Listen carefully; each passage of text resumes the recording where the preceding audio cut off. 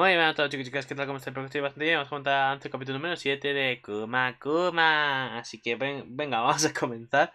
Que va a estar el capítulo número 7, pero antes vamos a comentar que nos dejó el pasado, en la cual, pues bueno, eh, una vez más, nuestra querida Yuna Nesama, nuestra Yuna Kuma Kuma, está más rota que, que mandó a parir. La verdad, para que vamos a mentir, está rotísima Yuna. Me olvidé subir el volumen del avance anterior. Yuna está rota, a lo cual, pues primero el capítulo van con Yuna con, con los demás miembros de, de sus amistades ahí que conocieron ahí. Y van a explorar la mina y tal. Y vemos que primero hay colines de hierro, de, bueno, de barro, de hierro. Y al final acaba llegando el de Mitril, en la cual pues no pueden hacer nada, que están enfrentando a los Backer contra ellos y no pueden hacer nada. De hecho, le pide si quieren ayuda y tal, pero no quieren los Backer así que pues nada. Al final vuelve el escuadrón no hay nada. O sea, tipo, no, no pueden derrotarlo, están diciéndolo, no pueden derrotarlo y tal. Y pues nada, lo que hace Yuna es dice, me voy a dormir pronto, a Mimi y tal, y ya le vamos a dar mañana pal pelo al gol de Mitrilo. Así que pues nada, lo que hace Yuna es, antes de irse a dormir, pues ve un lugar donde esté vacío, a lo cual pues ya tiene idea el plan. Va con Komakiru y Komakiru y pues van con todo, al de barro se lo rompen, al de hierro fina pues Perdón, Fina. Y una. Uy, Fina, ¿te imaginas? Y una em, usa unas nuevas habilidades que ha aprendido, bastante útiles, la verdad. Muy bien, está entrenando bastante bien. Ha aprendido el rayo y los cortes de como tipo látigo cepa. Bueno, como los tipos de Pidgeot conocidos los ataques de... No sé por qué me salido Pokémon las referencias, pero bueno, me entendéis, ¿no? Los cortes aéreos. Pues ya está, lo ha hecho, lo ha aprendido y nada más para no reventar a puños o a fuego eh, la mina. Así que pues nada, lo acaba haciendo, lo acaba derrotando, después llega el Demetrio, lo cual el vemos que está tan fuerte, no puede hacerle nada, hasta que al final lo que hace, no sé qué, hay una es llevarla a la puerta por el otro lado, y es cuando combate en una playa y la acaba reventando, idealmente, le pega super puño, bueno, fuego lo aguanta, la electricidad lo aguanta, las cortes lo aguanta, pero ya está muy muy muy dañado hasta que de repente super punchy para arriba, pa lo lanza a volar Yuna, cae. Sigue vivo y al final acaba rompiendo el cristal a por culo. Así que pues nada, Yuna ya acabó la misión. Y de repente le llega curiosidad de la vida, pues después de cuántos capítulos, está incluyendo la primera temporada, aparece la diosa de que le llevó a ese mundo a Yuna. Y acaba diciendo, hey, te he puesto objetos, no sé qué, así que búscalos. Para chenarte más. Bueno, pues qué pasa, le da unos pendientes, creo que eran, o no me acuerdo, unas perlas de oso. Y, al final, pues, ¿qué pone? Que básicamente es que es lo que generan los golems. El golem de Mitrilo y a los demás golems. Con lo cual la culpa ha sido de Yuna. Bueno, de la diosa. Pero de Yuna.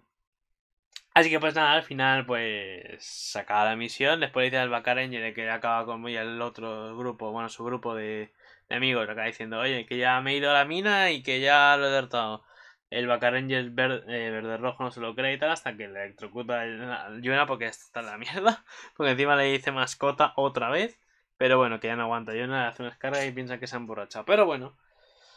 Mientras Fina pues está disfrutando de la vida de la nobleza, a la que sin querer mancha un vestido y piensa ¡Mierda! ¡Mi vida! ¡Bueno, mi vida! Que al final no pasa nada, dice que no se preocupe y que no pasa nada, que eso pasa a los niños, que no se preocupe y que ya está, que se va a lavar y punto.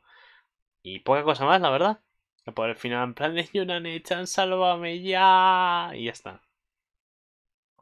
Que de hecho también nos enteramos que el rey estaba con su hija y que aparecen ahí, la pobre final estaba tan nerviosa, pero bueno, acaban contando incluso que estaba con su hijita Yuna y pues entra el rey y pues la zona cae de especial rey, pero bueno que le cae bien. Así que pues nada, al final... Al final... Pues como digo, Yura... Acaba la misión. Y ya va a volver por fin, así que pues poca cosa más, la verdad. Bastante nice el capítulo, no os voy a mentir. Bastante nice, como sabéis, siempre tranquilito. Pero bueno, misión cumplida y una. Y a por ese mitrilo que me quiero que me lo den ya, papus. Capítulo número 7, oso. El oso es regañado. Después de subyugar con el éxito del Golden Mitilo, Yuna se apresura a regresar a la capital real. Después de informar a Sania en el gremio de aventureros, nos dirigiremos a la mansión de Elora. Elora. Fina, que estaba esperando, eh, estaba esperando el regreso de Yuna, se siente aliviada al ver el rostro de Yuna y la abrazó con fuerza. Normal. Han torturado muchos mimos. Fina se siente aliviada al regresar a Crimonia, a pesar de que hay una tetera. una tetera? Sin embargo, Yuna dice que hará el cuchillo de mitrilo es súper caro para Fira. ¿Y la situación cara por completo? Inusualmente que Fina.